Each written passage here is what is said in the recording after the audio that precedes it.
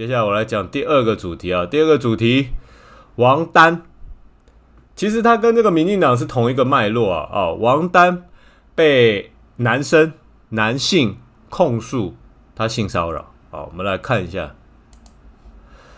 这个是也是一个男性啊，借着这一波这个性骚扰的案件啊，这位男性他在他的脸书控诉六四民运领袖王丹对他性骚扰啊。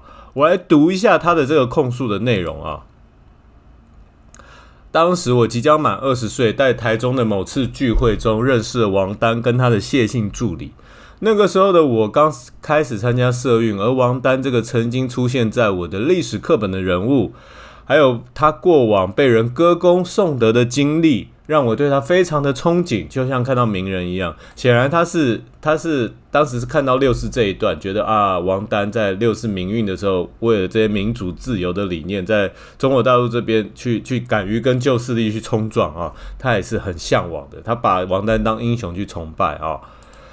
好，而且当时他才满二十岁啊，二零一四年他才满二十岁，所以他是小王丹很多的，就好像看到偶像一样啊。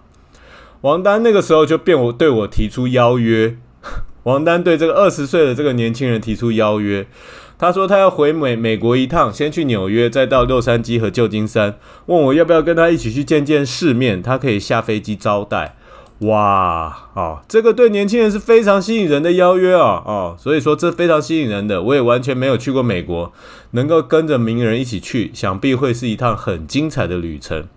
所以我便答应了这一趟为期一周的美国行啊，搞搞不好也是王丹出钱的啦，因为这个年轻人 应该，我觉得对年轻人来讲啊，你你这个老男人 有权稍微有点权有点钱啊，这样去讲都会很心动的啦啊。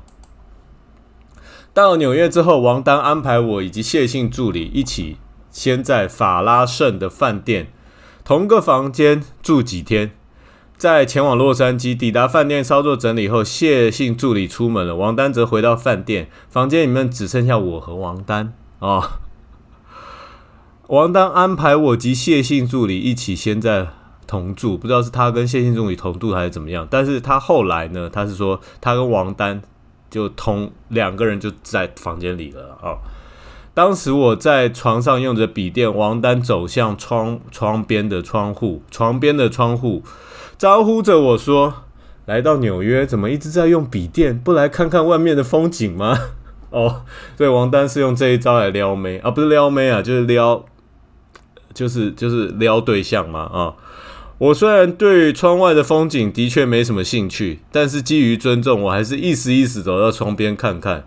才走到窗边，王丹便从后面环抱住我，用力的环抱住我，并对我强吻。一时之间，我还没反应过来，王丹便把我推到床上，持续强吻，并试图解开自己的衣裤。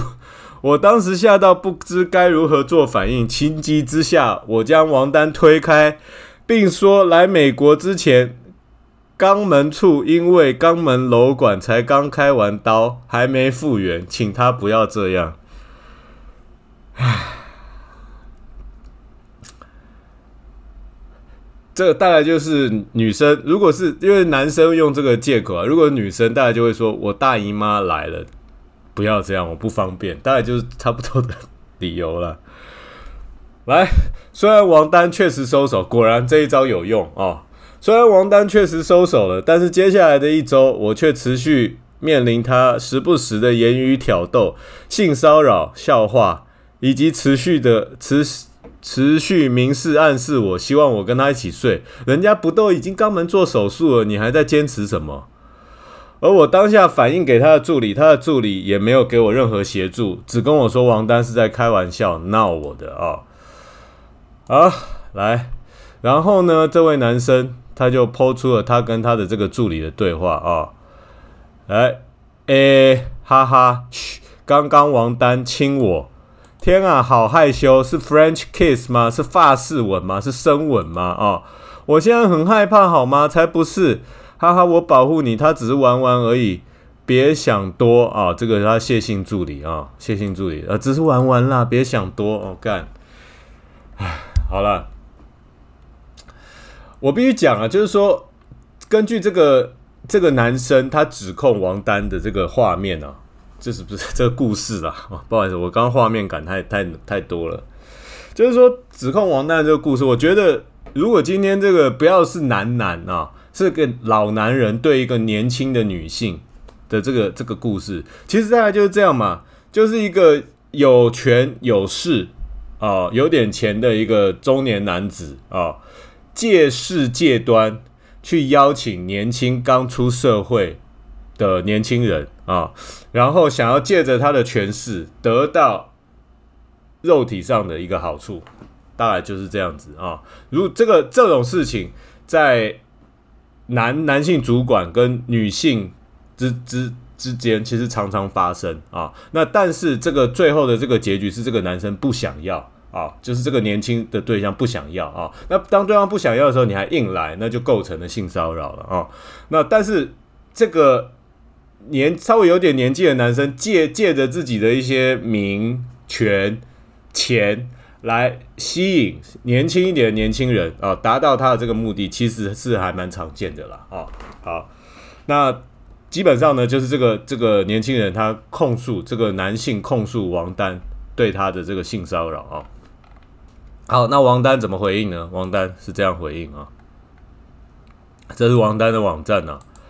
一早起来看到这个有点无奈啊啊！作者自己说，特意选择六四这个时间点，以及他特别强调的，希望政治圈的人士对我如何如何这样的表述，其实已经说明了问题啊。所以他说，呃，这个这个人说的性骚扰之事完全不存在。以上已经说明清楚，我还有很多事情要忙啊！我还要忙我六四纪念活动嘞，我的政治活动不会受到任何影响，会继续推进啊！所以他他就是不认错啊。然后呢，他又回应了啊，他就说，由于对方的指控与我的认知及记忆有巨大落差，再加上与我互动过的学生、工作伙伴众多。也有些许久未联络，我的确就难以就他们单方面的文字叙述有进一步的回应，所以就王丹就是说跟我的记忆有落差啦啊，所以没有没有这回事啊，所以他还是继续参加他的六四这个活动啊，六四那个活动啊，继续六四纪念馆啊，六四纪念馆要开幕，他去宣传他的六四纪念馆啊，好，就是王丹满满的六四行程啊，好，所以我要讲的就是说。呃，我刚刚上一趴讲的是理念是假的，权跟利才是真的啊，权力才是真的，权跟利才是真的啊。这个不只是对民进党，对王丹来讲也是啊。你想想看，六四到现在已经三十多年了啊，三十多年，王丹他靠这个六四这个这个这个这个议题啊，当时的这个民主什么民运领袖的这个光环。又吃又喝又拿还又睡啊！这个爆料出来的这个男生啊，他只是爆料出来，然后引起波澜，没有爆料出来的不知道有多少啊！所以，我我可以说，先不管你的性向是同性恋这个事情了啊，但是你就借着你这个六四的光环，又吃又喝啊，又吃又喝，已经证明拿很多，不管是钱还是怎样，都拿很多，还跟。呃，之前民进民进党陈水扁政府都拿了钱，陈水扁都给他钱啊，又吃又喝又拿，还睡，不知道有睡了几个啊？这三十年就靠六四这张牌啊，所以对王丹来讲，这个 这个，你还你还记得你你你当时这个这个六四，你要你要为中国大陆这个民主去去进步去干嘛？去你的理念是为了在哪里啊？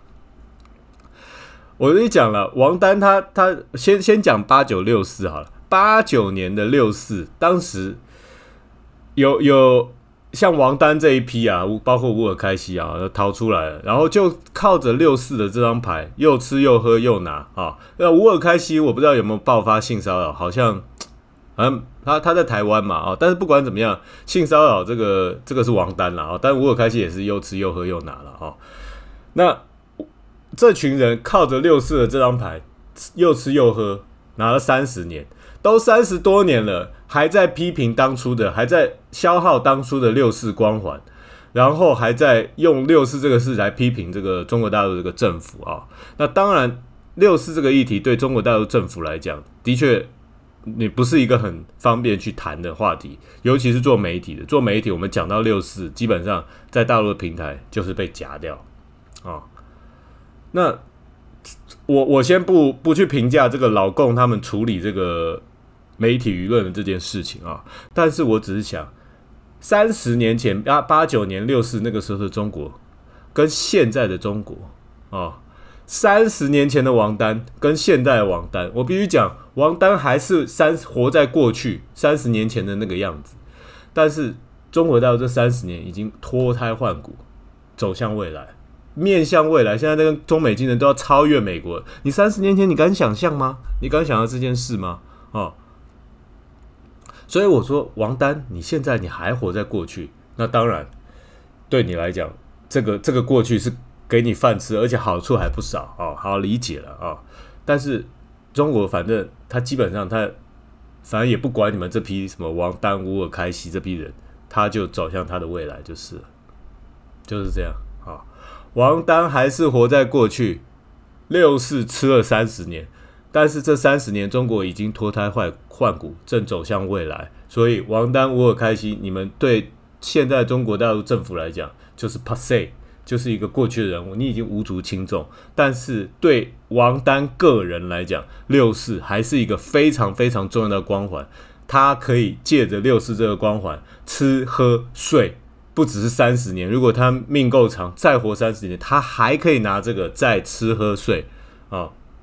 我继续讲，理念是假的，权跟利才是真的。摆民进党，对民进党来讲也是，对王丹来讲也是。你真的，你这你相信王丹真的是捍卫那个理念吗？其实没有，他只是要借着六四的这个光环，拿点权，拿点利，再用的自己的这个权势，再睡点年轻的小男生。想的也蛮恶心的啊，